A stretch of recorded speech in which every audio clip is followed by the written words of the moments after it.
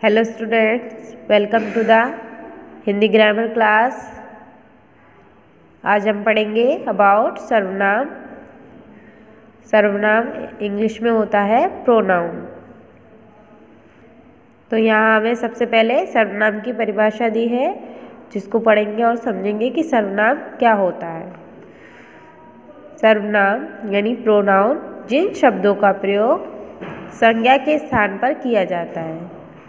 तो पिछली क्लास में आपको मैंने संज्ञा के बारे में बताया था कि संज्ञा क्या होती है, यानी किसी का भी नाम वस्तु का हो या व्यक्ति का हो या स्थान का तो उसे संज्ञा कहते हैं। तो ऐसे शब्द जो क्या है, संज्ञा के स्थान पर प्रयोग किए जाते हैं, उन्हें हम सर्वनाम कहते हैं। या फिर हम ये बोल सकते हैं कि सर्व संज्ञा के स्थान पर प्रयुक्त होने वाले शब्द जो भी होते हैं, वो सारे क्या कहलाते हैं, सर्वनाम। जैसे कि मैं। यानी आप अपना नाम लिए बगैर अपनी जगह क्या बोलो? मैं। या किसी मित्र का नाम लेने के बजाय उसे बोलो, तुम यह वे, उसका, मेरा आदि। तो ये सारे जो शब्द हैं, ये क्या हैं? सर्वनाम शब्द हैं। ये संज्ञा के स्थान पर लगाए जाते हैं। यानी किसी के नाम को हटाकर उसकी जगह हम ये लगाते हैं। उसके कुछ एग्ज़ाम्पल दिए हैं, जैसे कि दिया है निम्नलिखित वाक्यों को ध्यान से पढ़िए। पहला है, गोपाल एक अच्छा लड़का है। एक वाक्य है, गोपाल एक अच्छा लड़का है। फिर दूसरा वाक्य है, गोपाल प्रतिदिन नहाता है। गोपाल प्रातःकाल घूमने जाता है। गोपाल विद्यालय जाता है। तो यहाँ आप देख सकते हैं, चार वाक्य दिए हैं आपको। इसमें बार बार क्या आया है? गोपाल। यानी ये जो वाक्य हैं सारे गोपाल के बारे में कि गोपाल अच्छा लड़का है, गोपाल नहाता है, गोपाल प्रातः घूमने जाता है, गोपाल विद्यालय जाता है, जो कि क्या पढ़ने में अच्छा नहीं लग रहा है।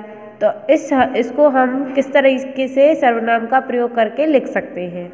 जैसे पहले वाक्य में तो हम उसका नाम बताएँगे कि गोपाल एक अच्छा लड़का है। यानी हम गोपाल के बारे में बात कर रहे हैं तो सबसे पहले हमने उसका संज्ञा का यूज़ कर लिया, उसके नाम का।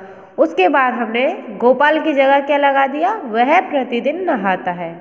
यानी यहाँ पे था, गोपाल प्रतिदिन नहाता है। तो यहाँ हमने इसकी गोपाल के नाम की जगह क्या लगा दिया? वह। यानी संज्ञा, किसी का भी नाम संज्ञा होता है तो यहाँ संज्ञा की जगह हमने लगा दिया सर्वनाम। तो वह प्रतिदिन नहाता है, वह प्रातःकाल घूमने जाता है, वह विद्यालय जाता है। तो इस तरीके से हमने संज्ञा को हटाकर जो भी सर्वनाम शब्द हैं उसका यूज़ करते हैं, उन्हें सर्वनाम कहते हैं। यहाँ पर इन चारों वाक्य में गोपाल एक संज्ञा है। इसके स्थान पर जो हमने शब्द लगाया है, वह शब्द का जो प्रयोग किया जाता है, अतः वह सर्वनाम है। यानी यह जो वह शब्द यूज़ किया है, वो एक सर्व सर्वनाम शब्द है। यहाँ हमें सर्वनाम के प्रकार दिए हैं, यानी इंग्लिश में बोलेंगे इसको काइंड्स ऑफ़ प्रोनाउन सर्वनाम निम्नलिखित सात प्रकार के होते हैं। सर्वनाम निम्नलिखित सात प्रकार के होते हैं, लेकिन आपकी कक्षा में केवल अभी छह प्रकार के वर्णन किया है, यानी अभी हम सात नहीं पढ़ेंगे, केवल छह प्रकार को समझेंगे कि छह कौन कौन से प्रकार होते हैं। अभी आपकी क्लास के हिसाब से ये सातवां प्रकार आपके किताब में नहीं है।